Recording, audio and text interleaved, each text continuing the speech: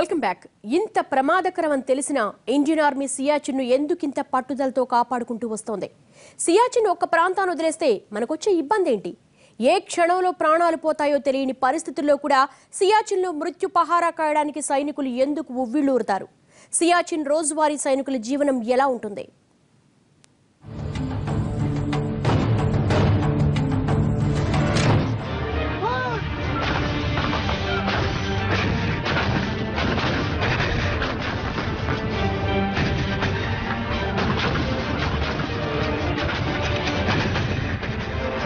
కార్గిల్ యుద్ధం తర్వాత సియాచిన్ గురించి దేశస్థులకు బాగా పరిచయమైంది. పాక్ ఆక్రమిత కాశ్మీర్లో కార్కోరం పర్వత శ్రేణిలో బాల్టోర్ పర్వతాల పైభాగంలో ఈ సియాచిన్లో ఎన్నో ఆసక్తికరమైన విషయాలు ఉన్నాయి. ఇది సుమారుగా డెబ్బై కిలోమీటర్ల పొడవైన మంచు పలకం లాంటిది. కాకపోతే దీని ఉపరితలమంతా పర్వతాలు లోయలతో నిండి ఉంటుంది. ప్రపంచంలోనే అత్యంత ఎత్తైన యుద్ధ క్షేత్రం ఇది సముద్ర మట్టానికి పద్దెనిమిది వేల నుంచి ఇరవై రెండు వేల అడుగుల ఎత్తులో ఉంటుంది. ఇంత ఎత్తులో ఆక్సిజన్ చాలా తక్కువగా ఉంటుంది. ఎంత అంటే ప్రస్తుతం ఉన్న వాతావరణంలో నలభయో వంతు ఉంటుంది. ఈ ప్రాంతానికి చేరుకోవటానికి భారత్ వైపు నుంచి ఎలాంటి నడకదారి లేదు. కేవలం హెలికాప్టర్ ద్వారా సురక్షితంగా చేరుకోవచ్చు. కానీ కాలినడకన చేరుకోవటం అన్నది ఎవరెస్ట్ ఎక్కినంత ప్రమాదకరం. ఇలాంటి సియాచిన్లో నిత్యం వేల సంఖ్యలో సైనికులు కాపలా కాస్తుంటారు. వీరి గస్తీకి రోజుకు ఆరేడు కోట్లు ఖర్చవుతాయి. అయినా సరే ఈ ప్రాంతాన్ని వదులుకోవటానికి భారత్ ఏమాత్రం సంసిద్ధంగా లేదు.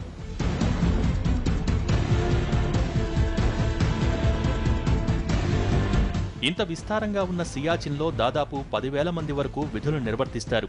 వాళ్ళంతా అక్కడ మూడు నెలల కన్నా ఎక్కువ కాలముంటే ఆరోగ్యపరంగా ఎన్నో ఇబ్బందులు తలెత్తుతాయి. ముఖ్యంగా మంచుకి ఫ్రాస్ట్ బైట్ అనే సమస్య తలెత్తి కాళ్ళ వేళ్ళు చేతివేళ్ళు పూర్తిగా దెబ్బతిని తీసేయాల్సిన పరిస్థితి వస్తుంది.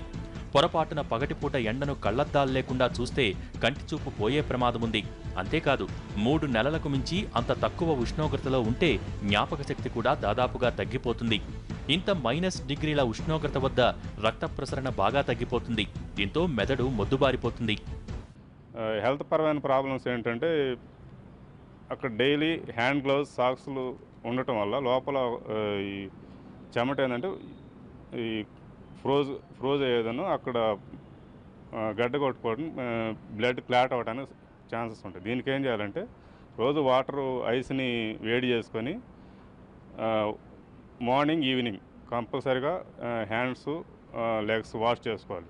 ఏమాత్రం లేజినెస్ కనిపి కనపరిచినా కూడా ఫింగర్స్ కానీ ఏళ్ళకి కానీ కోల్డ్ ఎఫెక్ట్ వచ్చేదని తీసేయాల్సినటువంటి పరిస్థితి కంపల్సరీగా ఉంటుంది. ఇంకోటి ఏంటంటే మార్నింగ్ టైము సూర్యరశ్మి చాలా ఎంత ఫోకస్గా వస్తుందంటే కెమెరా ఫ్లాష్ కంటే చా- కొన్ని రెట్లు ఎక్కువగా ఉంటుంది. దాని మీద ఏంటంటే కళ్ళు బ్లైండ్నెస్ రావడానికి ఎక్కువ అవకాశం ఉంటుంది. అటువంటప్పుడు ఏంటంటే అక్కడ గూగుల్స్ ఇష్యూ చేస్తుంటారు. అవి కంపల్సరీగా తొడుక్కోవాలి. అందుట్లో కూడా ఏమాత్రం నిర్లక్ష్యం పనికిరాదు. ఇక్కడ జీవనం ఎలా ఉంటుందంటే నరకానికి నడుచుకుంటూ వెళ్ళినంత దుర్భరంగా ఉంటుంది. ఇక్కడి మంచును తట్టుకునేందుకు తయారు చేసిన ప్రత్యేకమైన బూట్లే ఒక్కోటి పది కేజీల బరువు ఉంటుంది. ఇక ప్రతి ఒక్క సైనికుడి వెనుక పాతిక కేజీల బరువు ఉంటుంది.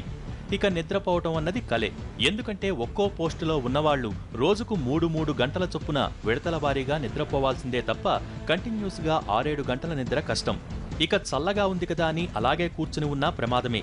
నిత్యం శరీరాన్ని కదిలిస్తూ వ్యాయామాలు చేస్తూ ఉండకపోతే కండరాలు పూర్తిగా కట్టగట్టుకుపోతాయి నైట్ టైం వచ్చేసి కంపల్సరీగా డ్యూటీలో two two two hours duty ఉంటుంది. మిగిలిన వాళ్ళు ఏంటంటే night time only four hours five hours మాత్రమే రెస్ట్ చేయడానికి ఉంటుంది.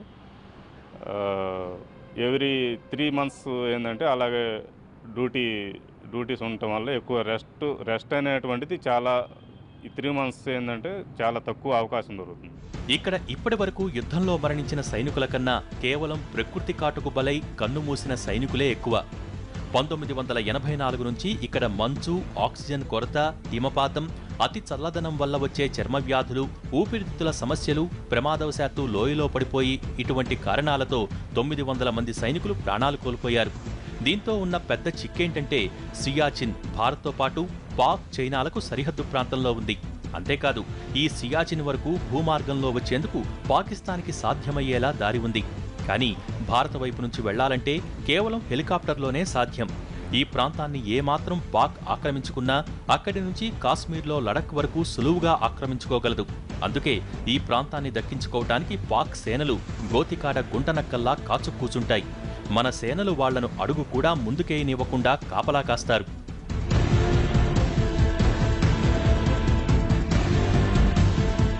సియాచిన్ అంటే నల్ల గులాబీలు పూసే తోట అని అర్థం. ఎందుకంటే ఇక్కడ అత్యంత అరుదుగా కనిపించే నల్ల గులాబీలు పూస్తాయి. అందుకే దీనిగా పేరు వచ్చింది. దేశ విభజన తర్వాత ఈ ప్రాంతాన్ని మనుషులు నివసించడానికి యోగ్యం కాని భూమిగా వదిలేశారు. పంతొమ్మిది వందల డెబ్బై నుంచి పంతొమ్మిది వందల ఎనభై మధ్యకాలంలో పాక్ సేనలు సియాచిన్ అడుగున ట్రెక్కింగ్ చేస్తుండేవి.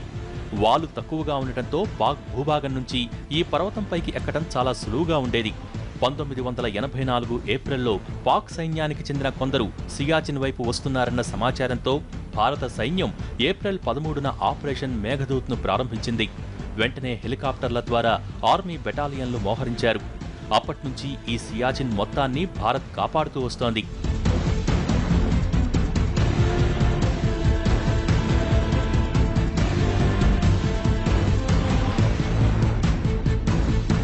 పంతొమ్మిది వందల ఎనభై నాలుగు నుంచి భారత్ పాక్ సేనల మధ్య తుపాకులు పేలుతూనే ఉన్నాయి. పంతొమ్మిది వందల తొంభై తొమ్మిది కార్గిల్ యుద్ధంలో ఈ పరిస్థితి మరింత తారస్థాయికి చేరింది. రెండు వేల మూడు వరకు ఈ ఉద్రిక్తత ఇలాగే కొనసాగింది. ఆ తర్వాత ఇరు దేశాల మధ్య కాల్పుల విరమణ ఒప్పందం అమలయ్యాక పరిస్థితి కాస్తంత సద్దుమణిగింది. సియాచిన్ మన చేతుల్లో ఉన్నంతకాలం పాక్ కుట్రలేమీ పనిచేయవు. చైనా ఎత్తుగడలు ఒక్కటీ ఫలించదు. ఒక్క నిమిషం మన సైన్యం ఏమరపాటుగా ఉంటే చాలు. తమ భూభాగం నుంచి దూసుకొచ్చి ఆక్రమించుకోవటానికి పాక్ సేనలు నిత్యం వెయిట్ చేస్తూనే ఉంటాయి. సియాచిన్ గురించి తెలియక చాలా దశాబ్దాల పాటు దీన్ని పట్టించుకోకుండా వదిలేశారు. కానీ తెలిసిన తర్వాత మాత్రం అనుక్షణం ఆ ప్రాంతాన్ని కాపాడుకోవటానికి విశ్వ ప్రయత్నాలు చేస్తున్నారు.